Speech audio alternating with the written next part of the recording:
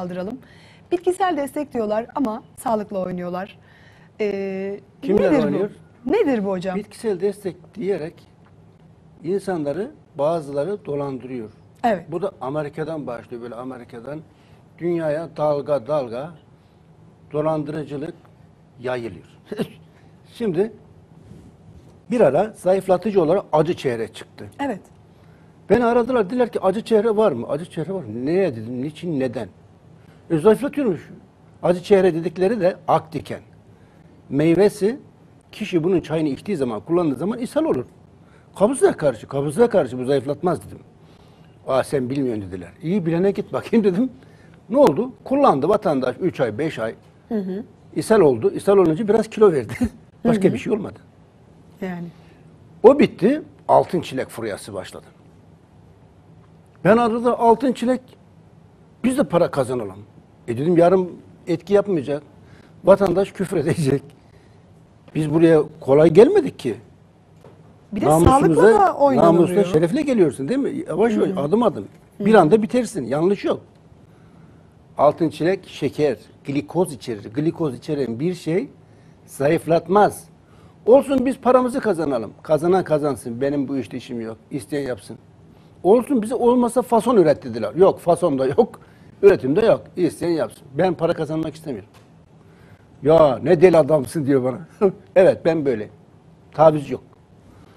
Sonra ahududu. Ee, raspberry İngilizcesi.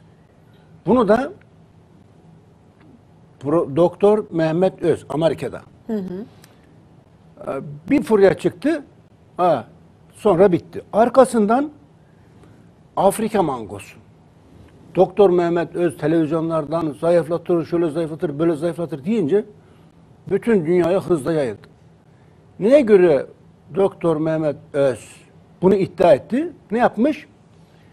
Afrika'nın bir şehri, şey, devlet hangi devlet? Kamerun'a gitmiş. Kamerun'da klinik araştırması yapmış. Sen Amerika'da yaşıyorsun, Amerika'da yap klinik araştırmasını. Veya Avrupa'da yap. Kamerun'da senin klinik araştırması ne işin var? Klinik araştırması yapacaksın Amerika'da yapılır. Amerika'da yaşıyorsun. Veya Avrupa'da yaşanır. Hiçbir yerde yapamıyor. Türkiye'de yap. Afrika'da klinik araştırması yapılır mı? Adamlar aç. Verirsin bin lira, alırsın bin tane klinik araştırması. Evet. Araştırma olur mu burada klinik araştırması? Klinik yok ki araştırma olsun. Adam klinik araştırması yapmış, 40 kişi üzerine denemiş vesaire hikaye. Afrika mangosu furyası başladı. Dediler ki bana Afrika mangosu üretelim. Hayır yok.